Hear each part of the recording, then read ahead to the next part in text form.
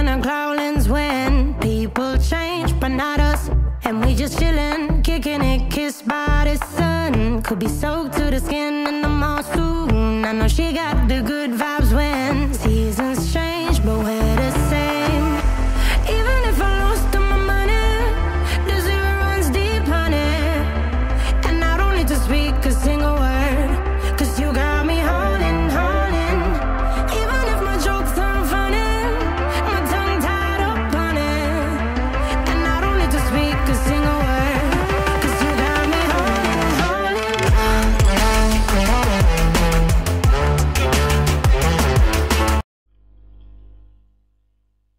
Dijital Dünya kanalından selamlar arkadaşlar. Bugün sizlere Windows 10 üzerinde webcam ve mikrofonu hangi uygulamanın kullandığını nasıl anlarız bundan bahsedeceğim arkadaşlar.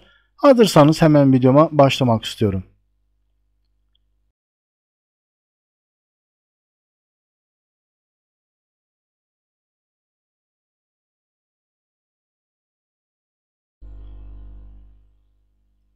Evet arkadaşlar. Windows 10 üzerinde webcam ve mikrofonu izinsiz bir şekilde hangi uygulamaların kullandığını göstereceğim. Bundan bahsedeceğim. Nasıl önlemler alabiliriz? Yine hep birlikte yapacağız arkadaşlar. Buradan şimdi başlata geliyorum. Ayarlar diyorum. Gizlilik sekmesine giriş yapıyorum. Burada kamera arkadaşlar. Gördüğünüz gibi bu cihaz için kamera erişimi açık arkadaşlar. Yine uygulamaların kameranıza erişimi bu şekilde gördüğünüz gibi yine açık arkadaşlar. Şöyle alta doğru iniyorum. Burada kameranıza erişebilecek Microsoft Story uygulamalarını seçin diyor arkadaşlar. Bunlar bu şekilde açık olduğunu düşünerek şöyle hatta örnek olarak yine yapalım. Bu şekilde açıkken arkadaşlar Microsoft kendi uygulamaları üzerinde kameranıza erişimini açmış oluyorsunuz. Bilginiz olsun arkadaşlar. Burada size bir örnek vereyim. 7. ayın 5'i 2020 akşam saat 20.55'te arkadaşlar kameram açılmış.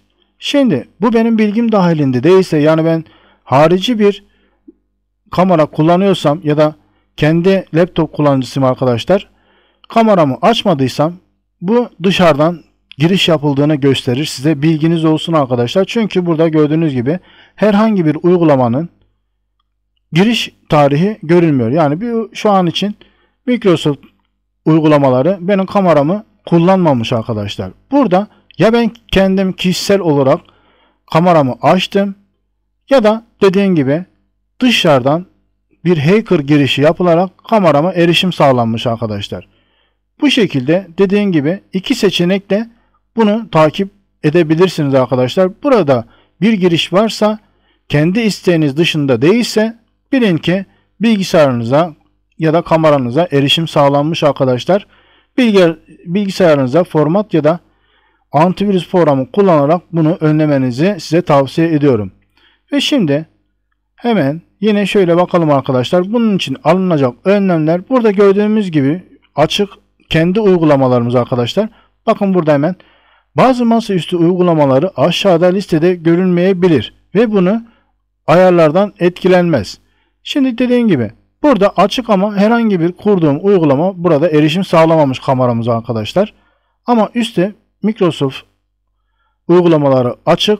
Yine söylüyorum arkadaşlar buradaki kamera sizin tercihiniz dışında açıldıysa yani burada son erişim tarihi sizin olduğunuz veya sizin isteğiniz dışında gelişmişse bilin ki bilgisayarınızda virüs var ya da dediğim gibi bilgisayarınızdaki bir açıktan faydalanarak hackerlar tarafından arkadaşlar kameralarınıza erişim sağlanmıştır. Bilginiz olsun.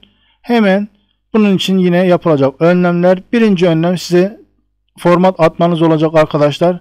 Sonrasında da webcam kullanıyorsanız yani bir laptopunuz varsa webcam'ine bir yara bandı yapıştırabilirsiniz arkadaşlar. Geçici olarak kullanmak istediğinizde yara bandını çıkartabilirsiniz. Kullanmak istemediğinizde yine bandı yapıştırabilirsiniz. Bilginiz olsun.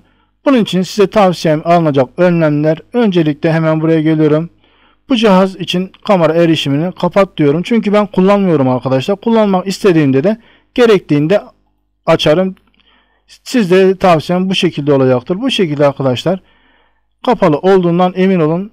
Ve sonrasında hemen buradan alta doğru iniyorum. Mikrofon kısmına geliyorum. Burada gördüğünüz gibi bu cihaz için mikrofon erişimi açık. Çünkü ben mikrofonumu kullanan birisiyim arkadaşlar. Bundan dolayı burada herhangi bir mikrofon kapatmıyorum. Ama yine hemen alta doğru indiğimde uygulamaların mikrofona erişim izninin açık olduğunu görüyorum. Çünkü ben uygulamalarda mecbur arkadaşlar mikrofon kullandığım için açmak zorundayım. Yine burada belirtmekte fayda görüyorum. Gördüğünüz gibi arkadaşlar geri bildirim merkezi mikrofon erişimi açık. Yine kamera aynı şekilde açık arkadaşlar. Hemen alta doğru iniyorum. Burada gördüğünüz gibi yine uygulamalarımızın açık olduğunu görüyoruz. Şöyle bakalım. Şimdi burası önemli arkadaşlar. Gördüğünüz gibi Firefox mikrofonuma 11.11'de erişmiş arkadaşlar. 2020 yani 11. ayın 11'i 2020'de mikrofonuma erişmiş.